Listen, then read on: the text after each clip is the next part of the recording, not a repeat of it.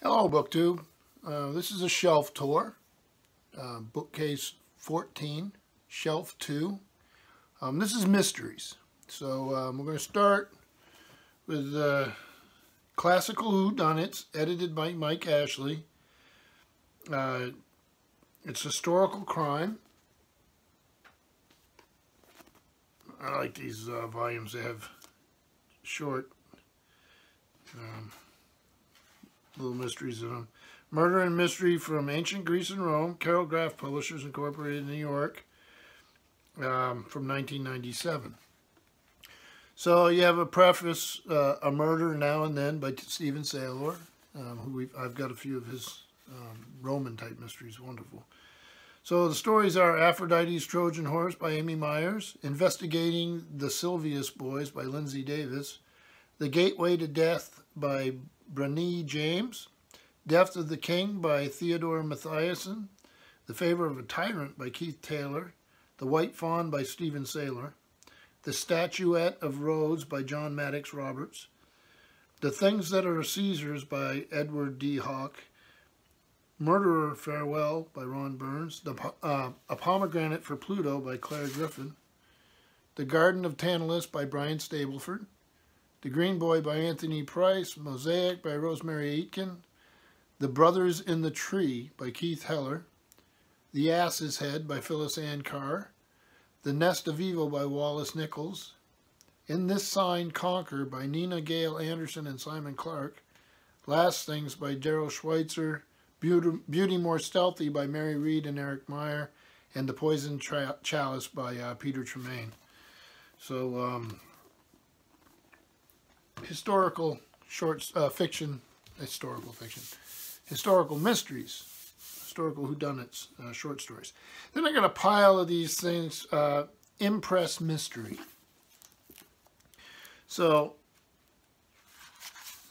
the, this is a series of the best mysteries of all time, they're calling it. And Impress Mysteries are put out by Reader's Digest. And I'm going to show you the first one here. They all have this, they have different designs on the cover, but they're hardback. The only, the only quibble I have with them is they don't open well. They, they're a little tight and you're always afraid you're going to break them.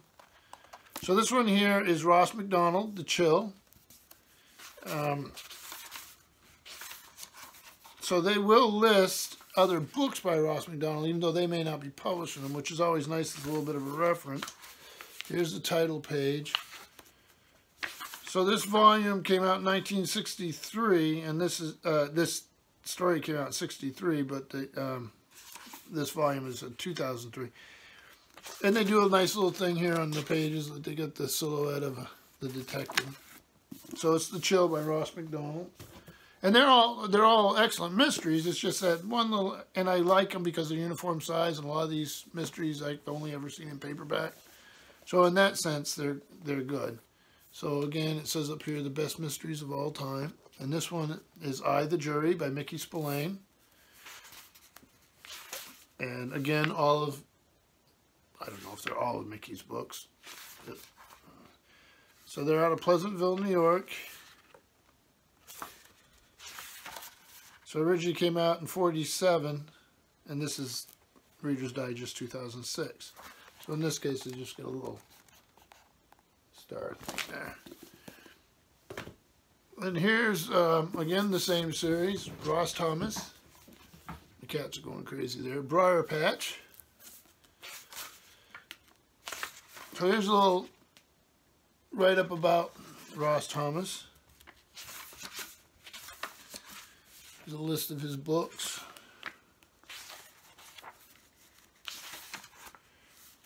And this was originally out in 84 and this is 2005. So here on the, each of the chapters, they did a thing like this instead of doing something on the bottom. Then, The Doorbell Ring by Rex, Rex Stout. These are other Nero Wolfe mysteries. This was originally um, from 65. And this edition is, um, uh, they don't really say.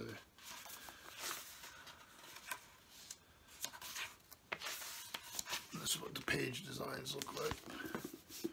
Then, moving right along, Dorothy L. Sayers, Clouds of Witness.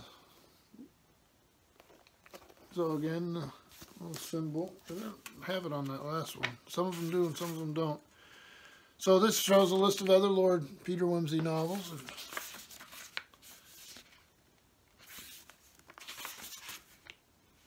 Which came out in 1927. And this is from 2006.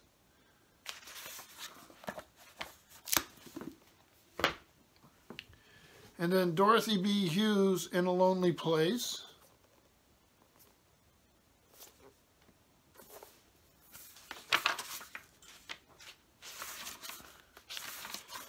Some of her other crime novels.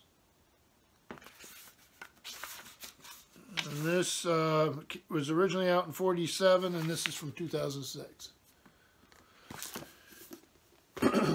so I don't know how people bought these. If they bought, I, I, get them at book sales. If I see one and it's in good enough shape, I'll grab it. Um, because they tend to be good. I mean, they're they're, they're chosen because um, they're considered among the best of all time. So usually I do pretty well when I buy them. I don't know if people bought them by subscription like you do the magazine or anything. If anybody knows, let me know in the comments below. This is The Laughing Policeman, Mass Showall, and Pierre Wallou. I just butchered their names, and I apologize for that. But, uh, translated from the Swedish by Alan Blair. And it was originally out in 70. Um, and this edition is from 2007. And then Margery Allingham, uh, Tiger in the Smoke. See, some of the covers are pretty nice.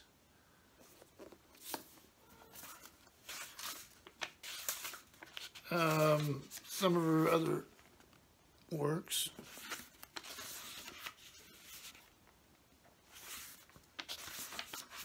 Um, this originally came out in 1952, and this volume here is from 2005. And then Dick Francis, Whip Hand.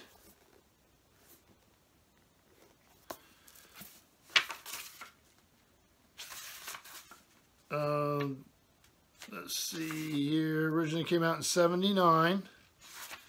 And uh, this edition here, they don't really, sometimes they say and sometimes they don't. Um, and most of you who will realize or will know that uh, Dick Francis, who was a perennial bestseller, uh, writes a lot about horse races and stuff like that. I think his son has picked up the uh, series to break it up here at the end of the shelf, I've got two westerns, and then the next shelf I do will be more of these mysteries. It's just the way that it, just the way they happen to fall on the shelf. And these are two Elmer Kelton books. So the first one here is uh, Elmer Kelton's Badger Boy.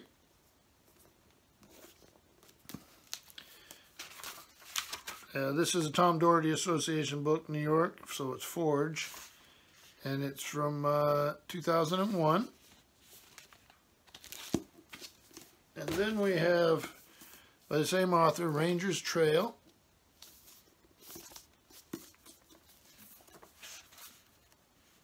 And that was uh, from 2002.